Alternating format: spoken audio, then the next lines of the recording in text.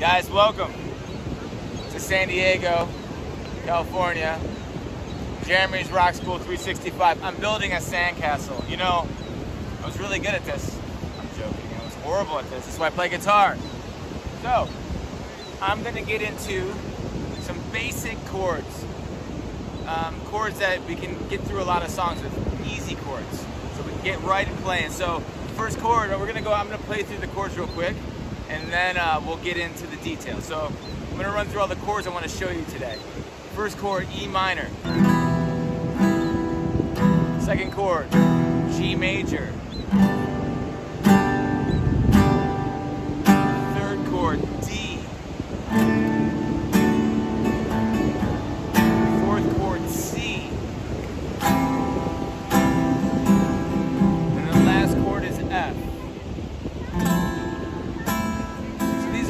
Basic chords we'll need to strum open songs. And uh, I just wanted to do a video with all these chords mashed together so you can practice these chords back to back in the snatch bar for you. All right, so let's get going.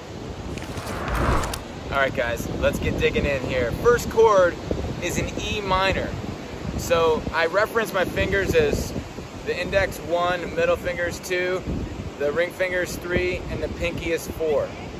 So for the E minor chord, and on our strings, we have E, A, D, G, B, E. Eddie, here's a saying for it. Eddie A, dynamite. Goodbye, Eddie.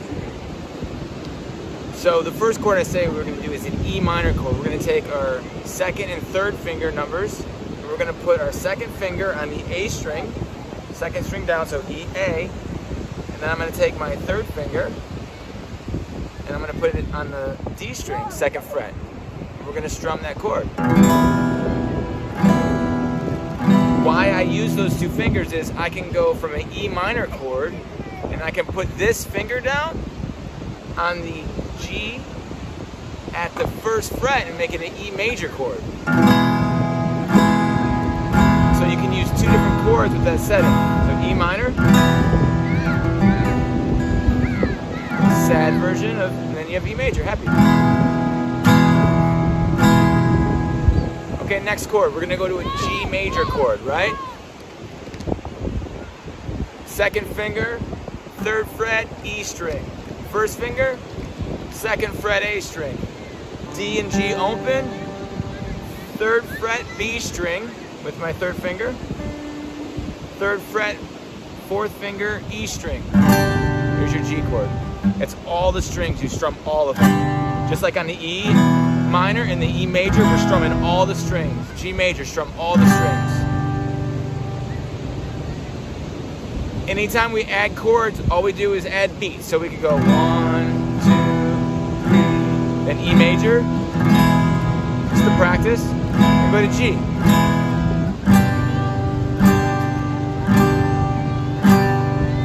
And take your time, this takes time.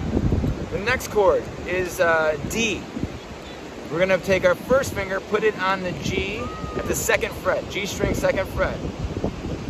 Take my uh, middle finger, second, second, number two rather. Uh, high E string, second fret. Third finger, third fret B string. I know I'm kind of going a little fast, but uh, I'm just, uh, you can rewind it and pause what you need. Your D chord. The shape, it's like a little triangle. We strum from the D string, not E or A, but we strum from the D string down. That's D major. Anytime it just has the chord without anything after it, is a major chord. If it's D minor, then it's saying it's minor. But this, it says D, so it's, it's saying D major. So if you see that, it just means D major. The next chord I want to go to is a C, which would be C major. And these are all very common chords, so learn these chords. So this is a C major chord. I put my third finger on the A string third fret. Second finger, I put on the D string second fret. We want the G open, B string first fret.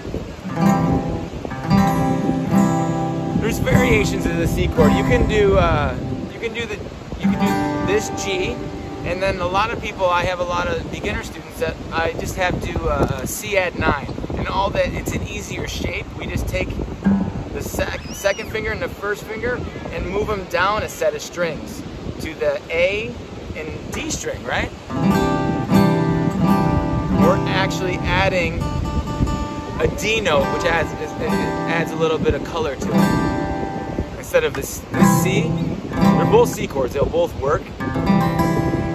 There's normal C, and here is C add nine. Either C would be fine. If you see a C chord, you can play either one. The last chord I want to go to is an F chord. And it looks just like the first, the C chord, but all we do is jump our fingers down and we'll have our third finger on the D string, third fret, our second finger on the G string, second fret, and our first finger, we'll put it on the B string, first fret. And actually, if we get the high E, it turns it into an F major 7.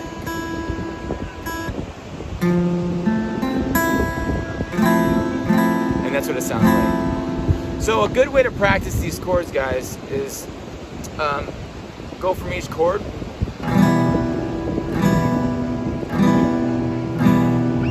Major. Sounds kind of weird. but It's cool. Then G. Then we'll go to the C add 9. To D. To F. Back to E minor. I'm just doing four strums each chord. Give me like.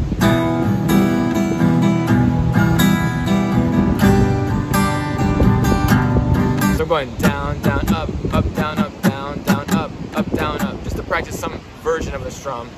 So. You want to make sure you're fretting them really well so you can hear all the notes in the chord.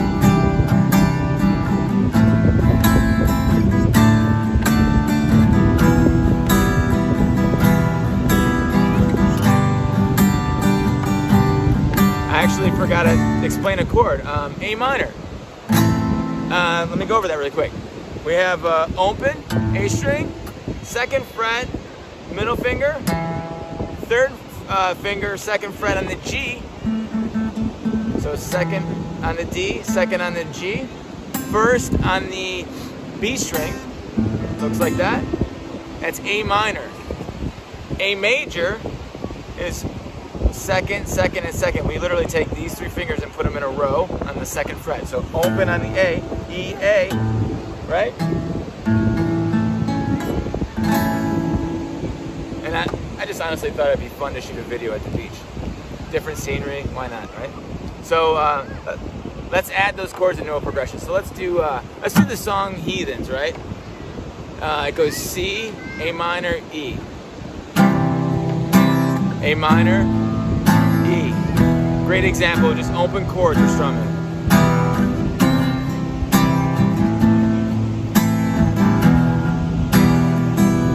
And if you go really simple, one, two, one, two, one, two, four. But going back to all this, that's the progression for heathens. But going back to just the chords, we have E minor, strum it four times, get it under your fingers, you know, try to memorize the shape, try to take a screenshot of it in your head, and go, uh, well, there's an E major if I put my finger down. Then G, C, C add nine, or C, D, A minor, A major, and then F.